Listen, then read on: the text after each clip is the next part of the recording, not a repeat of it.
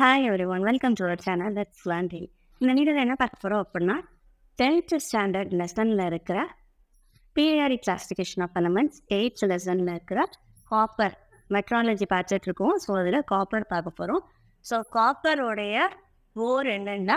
அதோடைய properties and process எப்படிலாம் பண்ணாங்க அப்படிங்கிறத பார்க்க போகிறோம் ஸோ காப்பர் அப்படின்றது நார்மலாகவே என்னது? ரெட்டிஷ் ப்ரௌன் மெட்டல் தான். இது ஆக்சுவலாக ஒரு மெட்டல் கூட சேர்ந்தது. இதோட ஓஸ் என்னென்னு பார்த்தீங்க அப்படின்னா காப்பர் பை குப்பர் இல்லைன்னா ரூபி காப்பர்னு சொல்லுவோம். காப்பர் பிளாக்ஸ் இது சைடு இருக்கிற அதோட கெமிக்கல் ஃபார்ம் தான். காப்பர் பைரேட்க்கு வந்து CU FC S two cuprite வந்து சியூ டூ ஓ காப்பர் கிளான்ஸ்க்கு சியூ டூ எக்ஸ் ஓகே அப்போது இதில் இருந்து செவன்டி சிக்ஸ் பர்சன்டேஜ் வந்து நமக்கு வந்து ஊரில் காப்பர் வந்து கிடைக்குது அப்படின்னு சொல்லி சொல்லியிருப்பாங்க. நெக்ஸ்ட் அதை என்ன ப்ராசஸ் பண்ணி அதை எக்ஸ்ட்ராக்ட் பண்ணி எடுக்கிறாங்க அப்படின்றது. ஸோ ப்ரா உங்களுடைய ஊரை என்ன பண்ணணும் அப்படின்னா ஃபஸ்ட்டு நல்லா க்ரஷ் பண்ணிக்கணும். க்ரஷ் பண்ணி பவுடர் ஃபார்ம் அனுப்பி ஓரளவு மாற்றிட்டு நம்ம அதை ஃப்ரோட் ஃப்ளோட்டேஷன் ப்ராசஸில் இன்வால்வ் பண்ணோம் ஃப்ரோட் ஃப்ளோட்டேஷன் ப்ராசஸ் ஆல்ரெடி படிச்சிருப்போம். பயனோயிலோட உங்களுடைய ஊரை மிக்ஸ் பண்ணி நம்ம அதை ஏரை கம்ப்ரெஸ் பண்ணும்போது அதுக்குள்ளே அவங்களுடைய ஃப்ரோத் மேலே அந்த ஓல்ஸ் எல்லாமே என்ன பண்ணிடும் செட்டில் ஆயிரும். உங்களுடைய டஸ்ட்டு பார்ட்டிகல்ஸ் எல்லாமே கீழே ஸ்லாகாக ரிமூவ் ஆயிரும். ஃப்ரோத் ஃப்ளோட்டேஷன் ப்ராசஸில் படிச்சிருப்போம். ஸோ அந்த ப்ராசஸ் வச்சு நம்ம அதை எக்ஸ்ட்ராக்ட் பண்ண போகிறோம் அப்போது ஒவ்வொரு நேரம் உங்களுக்கு ஓவர் கிடச்சிருக்கும். இம்ப்யூர் ஓவர் கிடச்சிருக்கும். ஸோ அதை என்ன பண்ண போகிறோம்னா எடுத்து ரோஸ்ட் பண்ண போகிறோம் ஸோ ரோஸ்ட் பண்ணுறதுனால என்ன ஆகும் அப்படின்னா sulphur phosphorus arsenic and antimony இந்த எல்லாமே ஆக்சைட்ஸாக கன்வெர்ட் ஆகி வெளியே ரிமூவ் ஆயிடும் ஓகேவா சல்ஃபருடைய ஆக்சைடு என்னது? சல்ஃபர் டை ஆக்சைடு ஸோ இந்த மாதிரி அதோட ஆக்சைட் ஃபார்ம்ஸ்க்கு கன்வெர்ட் ஆகி ரிமூவ் ஆகிடும் ஸோ அதனால என்ன ஆகும் அப்படின்னா நம்ம எதை எடுக்க போகிறோம் நம்மளுடைய சி ஃபோர் காப்பர் பைரைட் தான். ஸோ அதோட சாகனால C U F E S two அதை ஆக்சிஜன் ரோஸ்டிங்னா என்னது? ஆக்சிஜன் எக்ஸ்ட்ரா கொடுக்குது. ப்ளஸ் ஓ டூ வியூஸ் அதோடைய சல்ஃபர் தனியாக போயிடும். அதுமாதிரி அயன் அதில் இருக்க கண்டென்ட் தனியாக போயிடும். ஓகேவா அப்போ இந்த ஆக்சிஜன் இது ரெண்டு கூடையும் கம்பெயின் ஆக போகுது. பாருங்க. CU two S plus two FES plus SO two so இதில் ஆக்சிஜன் உங்களுக்கு கம்பெனால இது ரெண்டும் ரிமூவ் ஆகுது இந்த இது கிடையாது ஓகேவா அப்போது எஃபிஎஸ் ப்ளஸ் எஃப்ஓ டூ அதாவது சல்ஃபர் டை ஆக்சைடாக கேஸாக அது கன்வெர்ட் ஆகி ரிமூவ் ஆயிரும் சிஓ டூ எஸ் கிடச்சிது ஆக்சுவலாக இதுவும் பார்த்தீங்கன்னா இதுவும் அதோடைய ஒரு ore copper glance so copper glance நமக்கு கிடச்சிது ஓகேவா ஸோ இப்போ இதை அடுத்து என்ன பண்ண போகிறாங்கன்னா ஸ்மெல்டிங் ப்ராசஸ்க்குள்ளே இன்வால்வ் பண்ண போகிறாங்க ஸ்மெல்டிங் ப்ராசஸ் நம்ம ஆல்ரெடி இனிமேல் தான் பார்க்க போகிறோம் இப்போ ஸ்மெல்டிங் அப்படின்றது ஒரு பெரிய ஃபர்னேஸ்குள்ளே போட்டு ஒவ்வொரு டெம்பரேச்சரையும் ஹீட் பண்ணும்போது ஒவ்வொரு லெவல்லையும் அது வந்து ஒவ்வொரு ஃபார்மாக கன்வெர்ட் ஆகும். அது இனிமேல் தான் எடுத்து பார்ப்போம். அந்நேரம் ஸ்வெல்டிங் ப்ராசஸ்க்குள்ளே அந்த ஓரோட மோஸ்ட்லி என்ன ஆட் பண்ணுவாங்கன்னா கோக் தான் ஆட் பண்ணுவாங்க. ஸோ அப்போது இங்கே கிடச்ச ஓர் ப்ளஸ் கோக் ரெண்டையும் மிக்ஸ் பண்ணி நமக்கு அதை ஹீட் பண்ணும்போது என்ன கிடைக்கும்னா மேட் அப்படின்ற ஒரு மெட்டீரியல் கிடைக்கும். அந்த மேட்ன்றது ஆக்சுவலாக senior two S plus FTS இந்த காம்பினேஷன் தான் நம்ம என்னன்னு சொல்கிறோம்னா மேட்டு சொல்கிறோம் ஓகேவா ஸோ அப்போது இதில் கிடச்ச அந்த மெட்டீரியலை அந்த மேட்டுன்ற மெட்டீரியலை நெக்ஸ்ட் என்ன பண்ண போகிறோம் அப்படின்னா டிஸ்மரைசேஷன் அப்படிங்கிற ப்ராசஸில் இன்வால்வ் பண்ண போகிறோம் இங்கே என்னென்ன பண்ணுவாங்கன்னா ஆக்சிஜனோட ட்ரீட் பண்ணுவாங்க. ஸோ அப்படி ஆக்சிஜனோட இதை தனித்தனியாக இதையும் இதையும் ட்ரீட் பண்ணும்போது அது என்ன ரெடியூஸ் ஆகுது அப்படின்றத நெக்ஸ்ட் இது. ஸோ இங்கே என்ன மோஸ்ட்லி நடக்கும் அப்படின்னா அந்த வேட்டுன்றது பிஸ்டர் காப்பராக கன்வெர்ட் ஆகும். ஜிஸ்டர் காப்பர் அப்படிங்கிறது நைன்டி எயிட் பர்சன்டேஜ் காப்பர் இருக்கும். டூ பர்சன்டேஜ் மட்டும் இம்ப்யூரிட்டி இருக்கும். ஸோ இப்போ இதில் இருக்கிற டூ மார்க்ஸில் என்னென்னு பார்த்தீங்கன்னா மேட்டர் ஒன்று இருக்குது அடுத்து விஸ்டர் காப்பர்னா என்னென்னு.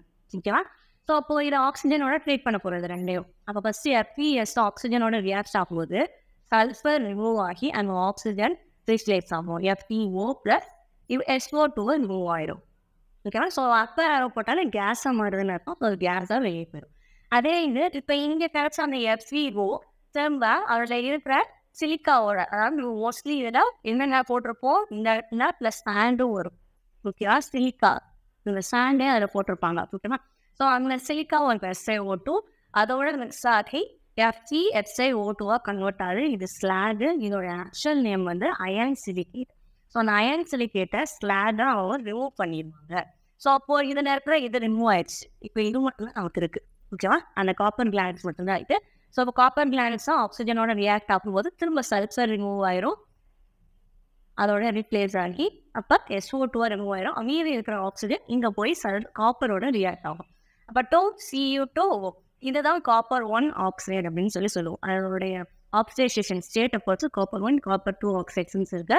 ஸோ இது வந்து காப்பர் ஒன் ஆக்சைடு ஆக்சுவலாக கீழே டூ இருக்கும் பட் காப்பர் ஒன் ஆக்சைடு ஓகேவா ஸோ நெக்ஸ்ட் இது இப்போ என்னதான் நம்ம பியூரிஃபை பண்ண போகிறோம் ஸோ இப்போ அதை எடுத்துக்கோங்க. எடுத்துட்டு நமக்கு சியூ டூ எஸ் திரும்ப ரிமைனிங் சியூ டூ எஸ் இருக்கும்ல? எல்லாமே ரியாக்ட் ஆயிடும் ரிமைனிங் கண்டிப்பாக இருக்கும். அந்த சியூ டூ எஸ்ஸும் இதில் கிடைச்ச அந்த காப்பர் ஒன் ஆக்சைடும் ரியாக்ட் ஆகி இந்த ரெண்டு காப்பரும் ப்ரொபைன் ஆயிரும். இதில் இருக்க ஆக்சிஜன் சல்பரோட எலிமினேட் ஆயிரும். ஸோ பியூர் காப்பர் உங்களுக்கு கிடைச்சிடும் சியூ ப்ளஸ் எஸ்ஓ இதுவும் நல்லா பியூராக இருக்குமான்னு கேட்டால் கிடையாது. ஓரளவு இம்ப்யூரிட்டிஸ் இருக்கும். பட் பர்சன்டேஜ் கொஞ்சம் குறைஞ்சிருக்கும்.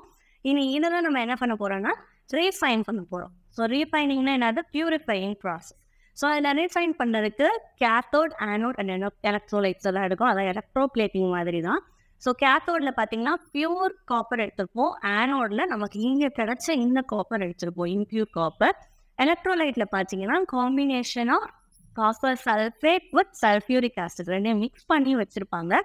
ஸோ அப்போது உங்களுக்கு பேங்க் பாஸ் ஆகும்போது என்ன ஆகும் அப்படின்னா இந்த இன்டியூன் காப்பரில் இருக்கிற காப்பர் எல்லாமேவும் ரிமூவ் ஆகி அந்த கேப்பரில் போய் ரீப்ளேஸ் ஆக ஆரம்பிச்சிடும் ஸோ இப்படி கொஞ்ச நேரம் எவ்வளோக்கு எவ்வளோ கரண்ட் பாஸ் பண்ணுறோமோ அதுக்கு ஏற்றாப்புல இந்த காப்பர்ஸ் எல்லாம் போய் பியூர் கேத்தோடில் இருக்கிற சாரி கேத்தோடில் இருக்கிற பியூர் காப்பரில் போய் செட்டில் ஆக ஆரம்பிச்சிடும் ஸோ இதுலேருந்து நம்ம அதை பியூரிஃபை பண்ணி எடுத்துக்கலாம். ஓகேவா?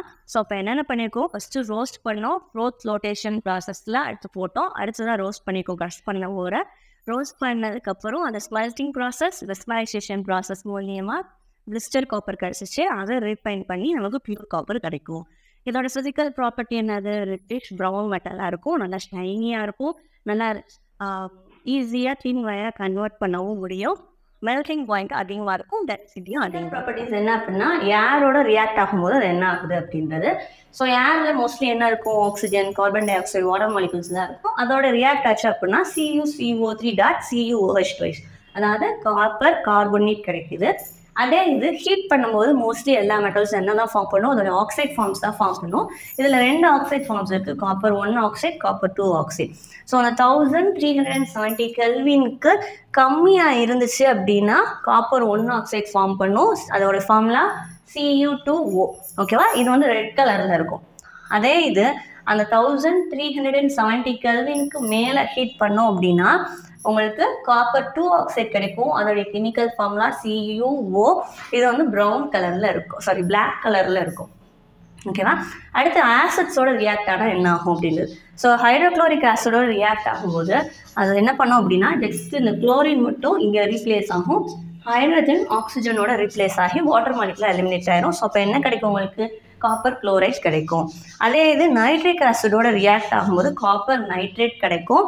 அதோட உங்களுடைய நைட்ரஜன் டை ஆக்சைடு அதே மாதிரி வாட்டர் மாலிகூல்ஸ் எல்லாம் வெளியே ரிமூவ் ஆகிடும் நெக்ஸ்ட் குளோரினோட ரியாக்டேஷன் ஸோ இங்கே பார்த்தோம்ல அதே மாதிரி தான் இங்கே ஹச்சிஎல் ரியாக்டச்சு இங்கே குளோரின் மாலிகூல் அதோட ரியாக்டச்சு அப்படின்னா காப்பர் குளோரைட் ஃபார்ம் ஆகும். இதே இது ஆல்கலி அதாவது பேஸ் கூட. பேஸ்னா என்ன ஓபெச் அதாவது வாட்டரில் டிசால்வ் ஆகிற பேஸ் கூட இது ரியாக்ட் ஆகாது. இது வந்து மோஸ்ட்லி நான் ரியாக்டிவ் ஓகேவா ஸோ அப்போது இதோடைய யூசஸ் என்னென்ன அப்படின்னா mostly wires next coin utensils நல்லா நிறைய டெக்கரேட்டிவ் திங்ஸ் இதெல்லாம் மேக் பண்ணுறதுக்காக காப்பர் வந்து நம்ம யூஸ் பண்ணுறோம் அப்போது இதில் என்ன பார்த்துருக்கோம்? காப்பரோட ஓர் சீஃப் ஓர் என்னது? காப்பர் பைரைட் தான். நெக்ஸ்ட் அதில் என்னென்ன ப்ராசஸ்லாம் இருக்குது அப்படின்றது. இதில் இருக்கிற டூ மார்க் பார்த்தீங்க முக்கியம் டூ மார்க்னா மேட் அப்படின்றதும் பிளிஸ்டர் காப்பர் அப்படின்னா என்ன அப்படின்றது? ஸோ மேட் அப்படின்னா காப்பர் கிளான்ஸ் வித் எஃப்இஎஸ் ஓகேவா அதே இது blister காப்பர்னா ninety eight percentage pure copper and two percentage impure impurities mix ஆகி இருக்கிறது. அந்த ப்ராசஸை ஃபாலோ பண்ணும்போது உங்களுக்கு ரிஃபைனிங் பண்ணும்போது உங்களுக்கு பியூர் காப்பர் கிடைக்கும். Next physical and chemical properties and uses எல்லாம் அதில் பார்த்துருக்கோம். இந்த வீடியோவில் ஏதாவது டவுட்னா கேளுங்க. தேங்க்யூ